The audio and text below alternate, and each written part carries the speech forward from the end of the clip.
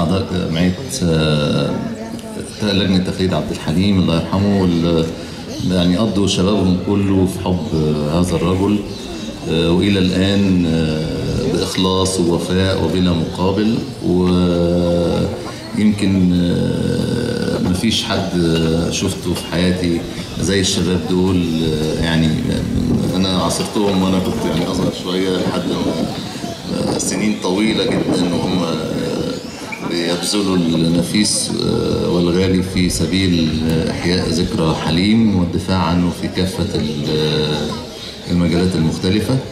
أنا بشكر الحضور جميعا وبشكر أستاذ طارق مرسي آه، بشكر أستاذ على الحضور أستاذ فاروق سلامة طبعا وبشكر آه، حضرتك أستاذ أستاذ هشام بدر الدين بشكره وبشكر استاذه سميره العسال على حضورها. وبقول إن إحنا يعني شوفوا قد إيه عبد الحليم عدى عليه آه، يعني السنة دي يبقى 85 سنة على ميلاده و37 سنة على وفاته. فقد إيه هو عايش في لا 37 آه بالظبط آه.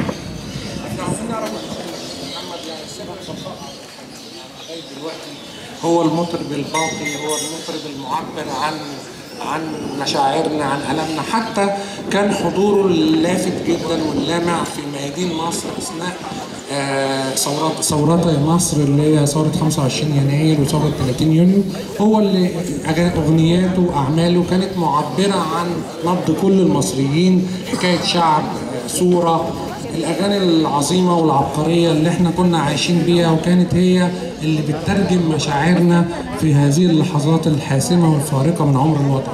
اللي- إيه إيه من وجهة نظرك سر بقاء المطرب الأسطورة عبد الحليم حافظ لغاية دلوقتي؟ أه والله هقول لحضرتك يعني في أه طبعا هو أكيد ده شيء من عند ربنا سبحانه وتعالى لأن ما إحنا مهما- قلنا قد إيه عبد الحليم عبد الحليم يعني تعب كتير جدا في حياته. أه كان صادق جدا في اللي بيقدمه. أه بيتعب في كل حاجة. بيحاول يوصل للاجاده في الكلمة وفي الجملة اللحنية و- وفي التوزيع الموسيقي يعني تلاقي حتى آه، أغانيه التوزيع بتاعها آه، الملحنين لما يجوا يشتغلوا مع ناس تانية تلاقي التوزيع اختلف. تلاقي المنظومة كلها الحليم بيعمل آه، شكل كده للتوزيع وبيهتم بالغنوة من الألف إلى الياء. آه، عبد الحليم صحته أنت عارف كان مريض آه، من أسرة على قد حالها في بلد محدش يعرف عنها حاجة الحلوات قرية صغيرة في محافظة الشرقية. يعني يتيم الأب والأم ما شافهمش. فربنا سبحانه وتعالى اراد يقول لك ان أنا اليتيم الفقير المريض ال- كل ده. أنا أخليه علم من أعلام الوطن العربي. وهكذا كانت إرادة ربنا. طبعا إدى لعبد الحليم حاجات كتيرة جدا. الصبر على مرضه وعلى العذابات وعلى مشوار الكفاح الطويل ده وعلى الشائعات وعلى محاربته. ناس كتير قوي حاربت عبد الحليم. ما وصلش كده على طول. رفضوه كتير جدا في في الإذاعة. لا ده بيغني زي الخواجات. هو كان قاصد يبسط الايه ال- الكلمة والجملة الموسيقية.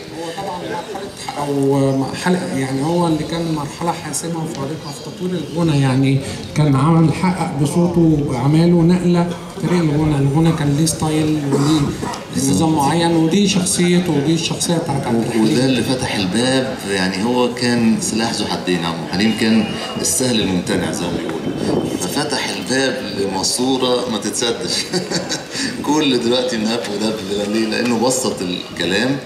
بسط الاداء بسط التعبير فكله افتكر إنه ممكن يغني مع إن عبد الحليم عمل كل ده بس إحساسه كان هو الفارق.